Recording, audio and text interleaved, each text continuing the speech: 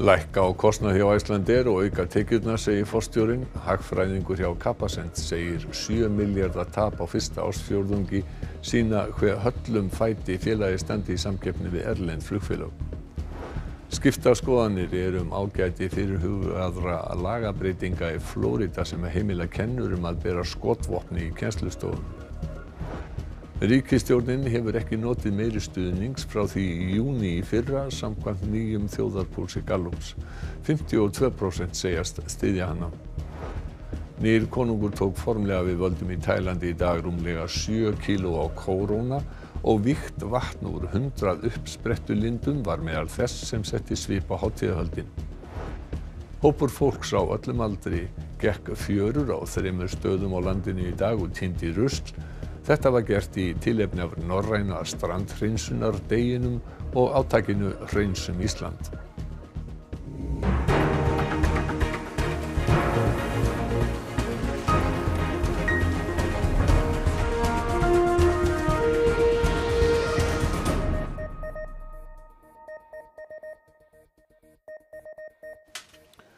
Gott kvöld. Forstjóri Icelandair segir að gert hafi verið ráð fyrir að fyrsti fjórðungur ársins yrði erfiður í rekstrinum. Unnið sé að því að draga úr kostnaði. Hagfræðingur hjá Capacent segir það valda áhyggjum að grunnrekstur Icelandair sé lakari heldur en hann var í fyrra. Tap Æslandir nam 6,7 miljardum króna í janúar til mars eða 74 miljónum króna á dag. Tekjurnar námu rúmum 30 miljardum sem er 7% minna en á sama tíma í fyrra. Raunverulega rekstrakostnaðir er ekkert mjög lítið að dragast saman en rekstra tekjur umtalsvert. Svo grunnreksturn er raunveru að verða lagari í fyrra. Og það er náttúrulega veldur áhyggjum og hérna og kannski endur speiklar hvað þessu höllum fæti Æslandir stendur í samkefni við Erlend flugfélag. Við gerum ráð fyrir að fyrsti fjórðungur er mjög erfur á þessu ári og síðan er líka mikil ástíð að sveifla í okkar rekstri. Á fyrsta ásfjörðungi fjall til kostnaður eins og þjálfun starfsfólks fyrir háanatíman en það er allt undir þegar farður verður í hvað betur megi fara. Við viljum læka kostnað og auka tekjur og, og það er það sem við erum að vinni í og höfum verið að vinni að hundaföndu.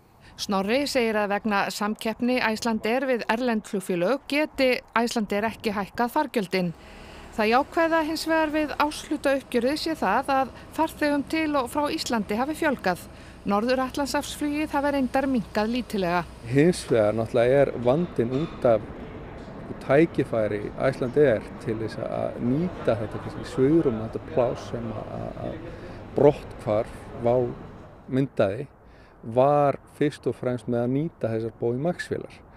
Uppálega gerði Æslandir ráð fyrir að hægtir þið að byrja að nota Boeing Max þótturnar aftur 15. júni. Nú er gert ráð fyrir 15. júli. Með því að leia stærri vélar en Max vélarnar náði Æslandir að minka sætaframbóðið aðeins um 2%. Við erum að breyta áherslu þannig að við setjum meiri áherslu á markaðin til og frá Íslandi meðan vægi markaðins yfir hafið millir Norður Ameríku og Evropu er aðeins aðeins minna þannig að við náum að breyðast við með þessum aðgerðum en þetta hefur að sjálfsögðu áhrif. Fyrsti og fjórði ásvörungur koma alltaf vest út hjá flugfélagunum og fórstjóru segir að það hafi verið viðbúðið tap á fyrsta fjórðungi en útlitið sé hins vegar bjart. Staða félagsins er sterk og eigin fjárstaðan áfram er mjög sterk og efnahagsreikningurinn líka. Við erum brött upp á til framtíðar, upp á lengri tíma, þá telum við að okkar félagmunni standa sig vel og líka ferða þjónastan í Íslandi. Stuðningu við ríkisstjórnina hefur ekki mælst meiri síðan í júni í fyrra. Hann ykst um 4% milli mánuða í nýjum þjóðarpúlsi Gallups. Fylgi einstakra stjórnmálaflokka breytist lítið á milli mánuða. 52% þeirra sem taka afstöði í þjóðarpúlsi Gallups segjast styðja ríkistjórnina en samanlaður stuðningur við ríkistjórnarflokkana þrjá er 45%. Sjálfstæðisflokkurinn er enn stærsti flokkurinn, mælist nú með tæplega 24%. Samfylkingin er næst vinsalasti flokkurinn, rúmlega 16% segjast myndu kjósa samfylkinguna ef kosið væri nú. Vinstri hreyfingin grænt frambóð nýtur stuðningsríflega 13% kjósenda. Píratar og viðreist njóta stuðnings 11% kjósenda hvor, tæplega 9% kjósenda stiðja miðflokkin og 8% þeirra sem tóku afstöðu segjast myndu kjósa framsóknarflokkin. Flokkur fólksins myndi ekki ná manni á þing ef kosið er þið nú, aðeins 4% segjast stiðja flokkin. Sósialistaflokkur Íslands myndi fá 3,6% atkvæða ef gengið er þið til kostinga nú. Þjóðarpúlskalup var tekin dagana 5. til 30. april. Heildar úrtækið var rúmlega 5.000 manns og tókunari 58% þátt í könuninni. Nána má lesa um könunina á rúf.is. Búist við að ríkistjóri Flórida samþykja næstunni lög sem heimila kennurum í ríkin að bera skotvopni í kennslustundum. Skipta skoðanir er um ágæti lagabreitingarinnar. Fulltrúadeild Flóridaþings hefur þegar samþygt lagabreitinguna sem nú býður samþykis ríkistjórans Ron DeSantis. Gangi lagabreitingin í gegn verður kennurum í ríkinu heimilt að bera vopni í kennslustofum hafið þeir lokið 144 tíma námskeiði. You know, we're going to arm these folks, we're going to train these folks. They are leaving this gun range higher trained than my rookie employees. Um, we cannot have enough measures in place to protect our kids as they're our number one asset. Undanfærin 20 ár hafa verið framdar skotar á sér í 230 skólum í bandarækjunum. Það er að meðaltali eini í mánuði. 143 hafa dáið í þessum árásum. Þau sem gaggrina lagabreitinguna segja að fleiri bissur drægi ekki úr tíðinni skotarása. Introducing additional firearms into schools will not add additional security. And what happens when a teacher shoots the wrong kid? What happens if the teacher shoots themselves? I mean, we have accidents all the time with guns going off, and, and now we're putting more guns into our schools where more people could inadvertently get injured and shot. Árlega nýta um 1400 manns sér rafræna hreyfiseðla sem læknir eða annar heilbriðistarsmaður ávísar í stað livseðla. Maður með sykursíki sem notar hreyfiseðil segir að hann fari oftar út að ganga en áður. Hérna býr hann Guðmundur. Hann er einn af 5300 manns sem hafa nýtt sér hreyfiseðla frá því að voru tekni í nótkun árið 2014. Sæl og blessaður. Guðmundur hefur aðganga hreyfisælinum í símanum og hreyfingin sem hann hefur valið sér í samráði við hreyfistjóra er göngutúr þrísvar í viku. Ég er með síkusíki, síkusíki 2 og læknirinn hvati mig til þess að fá frekar hreyfiseðil hendur en livseðil. Það er, nú, ég, það er ekki svo að ég takk engi liv en, en að þetta svona komið veg fyrir þurft að taka eins mikið.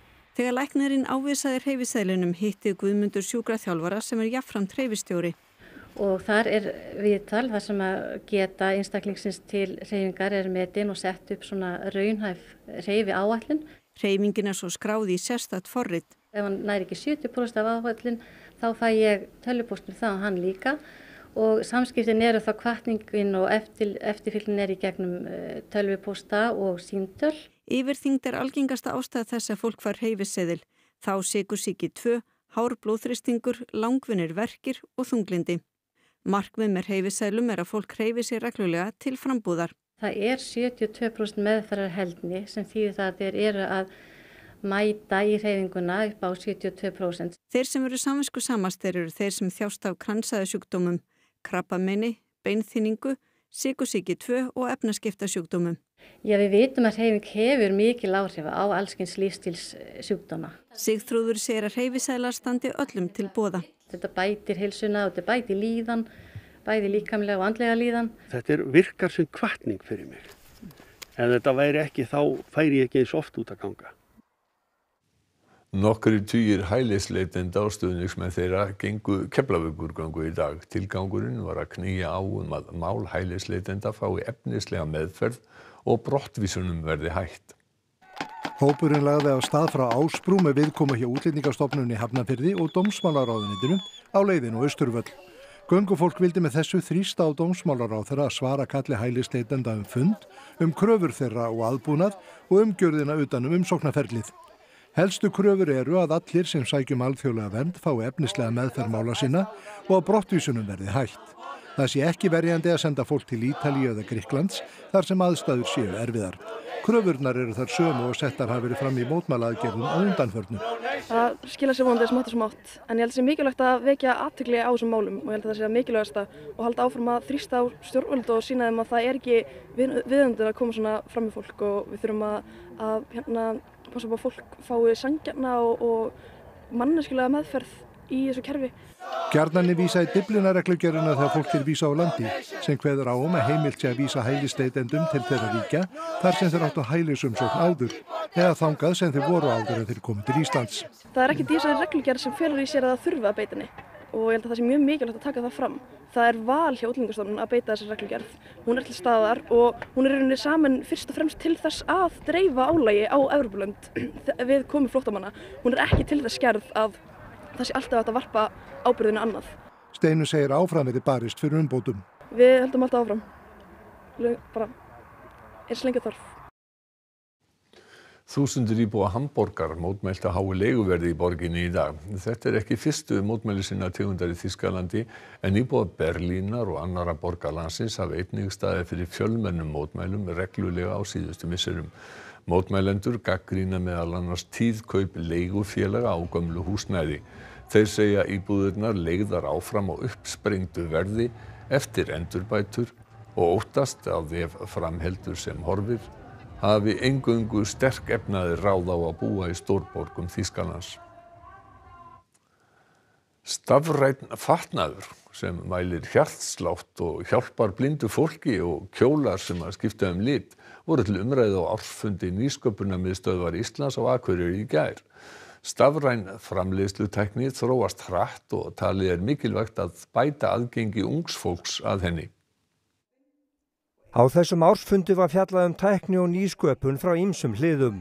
Stafræn framlegslu tækni var þar áberandi og framkomað að auka þyrti aðgengi að stafrænum smiðjum, svo köllum Fablab smiðjum. Þær hafa nú verið starfrætta hér í 11 ár og eru orðan átta víða um land. Næsta skref er að innleiða þessa tækni í mentakerfið. Nú erum við að komast inn í það. Eh, þau settu framláð þingsáluðuna til um að auka aðgengi að stafrænsmiðum og nú er stóra spurning hvernig menn ætla að tryggja raunverulega reksturinn til framtíðar. Og samstarfsnett víða um heim færi íslenskum Fablab smiðjum allt það nýjasta í rannsóknum. Og við getum fært að beint inn í mentakerfið og beint inn í yðnaðin. Stafræn framleiðslutækni er sífælt að breyðast út og færast inn í fleiri þætti framleiðslunar, meðal annars í textíl. Þar með verður efnið í fötunum okkar snjallara. Tengi ímiskonar skinnjara og, og örtölfur sem við erum að forrita til þess að láta fötin gera það sem að, e, við viljum að þau geri. Og þá geti kjólar til dæmis skipt um lit og verið með innbyðan mótor til að stitta þá eða síka og svo má hafa af þessu mikið gagn. Við getum mælt hjartsláttinn, hvernig heilsan er, þetta getur hjálpað blindum til dæmis til þess að rata betur, til þess að skinja umhverfið betur og þetta getur hjálpað uh, fólki í hjólastólum. Rúmlega 7 kílóa kóróna og víkt vatn úr 100 uppsprettu lindum er meðal þess sem setti svip á krýningaratöfn nýs konungs í Tælandi í dag. Hann tekur við að föður sínum sem nú hefur verið sýrður í á þriðja ár. Vajaralong Korn konungur er 66 ára, næst elsta barn konungshjónuna fyrirverandi og elsti sonur þeirra. Þetta er fyrsta kríningaratöfnin í lífi margra tælendinga en það gengdi Búmiból, fadir hins nýja konungs, ennbættinu í einn 70 ár. Hann lést árið 2016 og nú eftir þryggja ára sorgartímabil er loks komið að sinunum að taka við.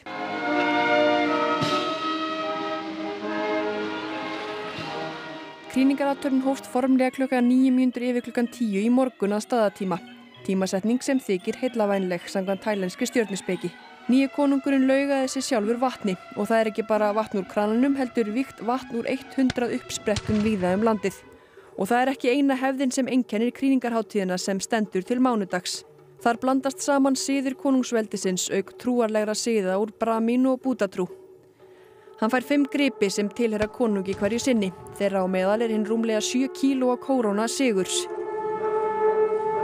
Með hann á höfðinu lísti hinn nýji konungur yfir áformum sínum í ennbætti. เพื่อประโยชน์สุขแห่งอาณาราษฎรตลอดไป Nýja drottning Thailands, Sudita, er fyrirverandi lífvörður konungsins en þau gifti sig fyrir vikunni. Þetta er fjórða hjónaband konungsins en hann á sjö börn. Drottningin og aðrir hátt settir tóku virkan þátt í krýningaratöfninni en það gerðu þau þó að mestu krjúpandi á hnjánum eða liggjandi á gólfinu.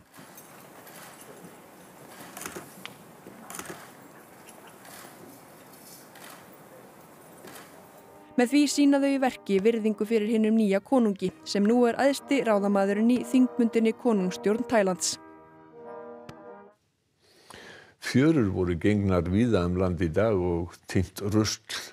Það er ekki síst plastdrasl sem finnst og segir sex ára hreinsunamaður að slíkt eigi að vera í ruslatunum, ekki í fjörunni. Norræni hreinsunadagurinn er í dag og var sérstætt átaki þremur landslutum að því tilefni og er átaki líður í verkefninu Hreinsum Ísland. Fjörur voru gengnar á Snæfellsnesi, við Höfni Hortnafyrði og Hópsnesi við Grindavík. Fjöldi fólks tók þátt í verkefninu enda af nóga að taka. Hvernig er þetta búið gangað þetta? Heyrðu, bara vel, ég er endur ekki búin að taka vera, ég tek svona restina sko, en þær eru hérna búin að vera í allan dag, þetta er bara, jú, það er nóga rusl allavega hana. Hvað, hérna, hvað er þið helst að finna? Plast. Alls konar plast? Alls konar plast. Þetta er allt plast hérna í báðum hérna. Fullt af skóm. Fullt af skóm? Þetta er ekki fyrsta parið. Það er nú ekki alveg vonandi þessu eða hvað? Nei, það er alveg hægt að setja henni í nýttamarka. Tækar. En þið þarf ekki hika við, hika við að, að hérna, drífa ykkur í að týna rusl? Nei. Þetta er bara ábyrðin okkar allra, myndi ég segja. Ekki stelpur. Jú, algjörlega. En það náttúrulega kemur, ef ég orða bara þannig, kemur allir fjandinn að landi hér. Já. Alls konar. Það er allt mögulegt, sko. Alls konar. Hvað, hvað hefur fundið skrýtnast? Til dæmis þetta framljós, eða er þetta afturljós? Ég veit ekki. Batnableiu. Bleia? Já, hún er þarna bleið, við veitum ekki alveg hverju hún blokka hana. Hreinsunafólk var á ymsum aldri og ekki allir háir í loftinu en letu sitt ekki eftir liggja. Mm, bara tína rusl. Og er nóga rusli hérna? Já, Og akkur er þetta að týna það? Áruslið ekki að vera hérna í fjörunni? nei, Hvar á það að vera? í ruslatunnu. Í átakinu sorpið ekki bara flokka heldur líka skráð.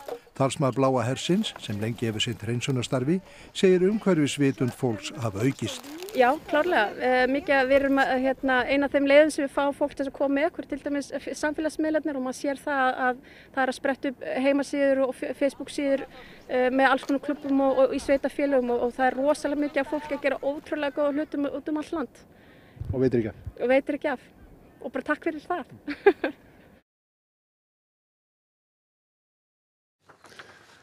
Leiklistarháttíðin þjóðleikur er tíu ára um þessa myndir. Þar hittast ungir leikhópar frá nágrannabæjum og setja upp sömu leikverkin en á gjör ólíkan hátt. Þannig lærir leikhúsfólk framtíðarinnar dýrmæta leksju. Loka hátíð þjóðleiks fór fram í sláturhúsinu á Egilstöðum og þegar við litum inn voru leikhópar frá Neskaupstað, Reyðarfyrði, Seyðisfyrði og Egilstöðum að koma sér fyrir. Sumir voru að máta sig inn í nýtt leikrými eftir stífar æfingar heima fyrir undanfarnar vekur. Þjóðleikur er haldinn annað hvert ár í sjö landslutum í samstarfi við þjóðleikhúsið.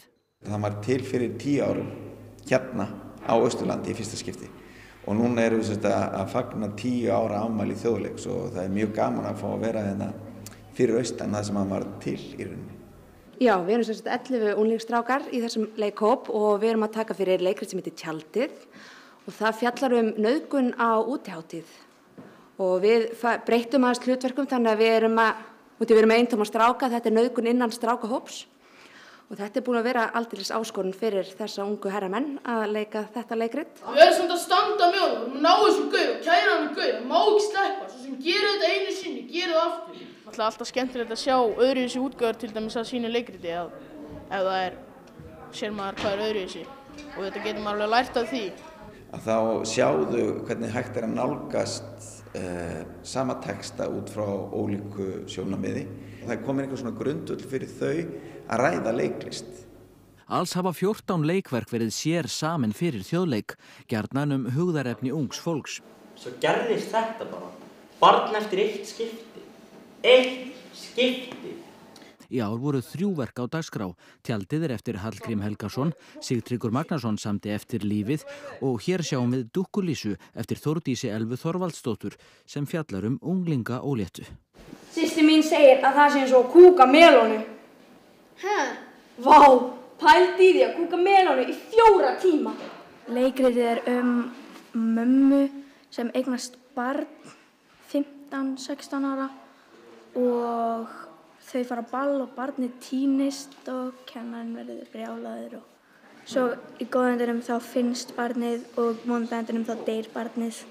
Ég hef lært alls konar bara svona eins og framkomi á sviði og maður svona fær svona mikla reynslu í leiklist svoleiðis, góður undirbúningur ef maður ætlar að fara í leiklistanámi eða eitthvað svoleiðis.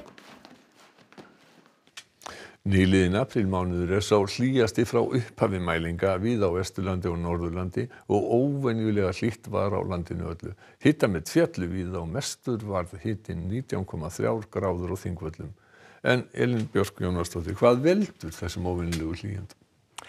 E, það múin að segja að þetta hafi nú kannski verið hefni svona mikið til. E, Hálóftavindarnir þeir stýrðu til okkar lagðum og hlýju lofti eftir fyrstu daga mánaðarins. Það var ekki alveg svona hlýtt fyrstu nokkra dagana í apríl en svo bara sagt, voru við réttum megin við ásinn. Það var kaldara fyrir, fyrir vestanland og, og mjög hlýtt hjá okkur og við fengum þarna Sahara-rík til dæmis og, og hitan með því og síðan hérna erum við nú komin svona svolítið á hinn endan eins og staðan er í dag. Þetta er ekki loftslagsbreytingar?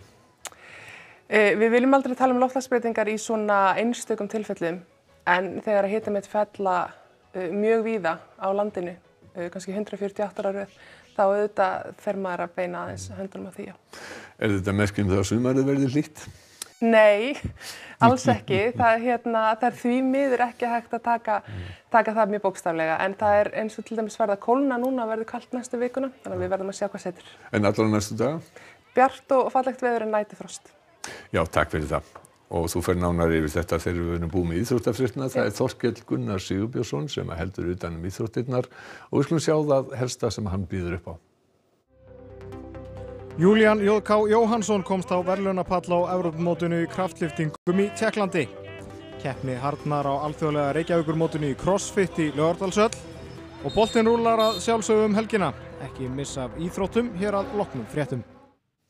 Helstu aðtriði fréttana í kvöld lækka á kostna hjá Æslandir og ykkar tekjurna, segir fórstjórin. Hagfræðingur hjá Kapasend segir 7 miljardar tap á fyrsta ársfjórðunginum sína hver höllum fæti félagi standi í samkeppni við ellen flugfélum. Skipta skoðanir eru um ágæti fyrir hugaðara lagabreitinga í Flórida sem að heimila kennurum að bera skotvopni í kennslustofun. Ríkisstjórnin hefur ekki notið meiri stuðnings frá því í júni í fyrra samkvæmt nýjum þjóðarpúlsi Gallups. 52% segjast stiðjana. Nýr konungur tók formlega við völdum í Tælandi í dag, rúmlega 7 kíló á kóruna og vikt vatn úr 100 uppsprettulindum var meðal þess sem setti svip á hátíðahöldin. Hópur fólks á öllum aldri gekk fjörur á þreymur stöðum á landinu í dag og týndi rusl. Þetta var gert í tílefn af norræna strandhreinsunardeginum og átækinu Hreinsum Ísland. Næstu fréttir okkar klukkan 10 kvöldi útvarpinu og þið finnið ætti nýjustu fréttir á rú.is verði sæl.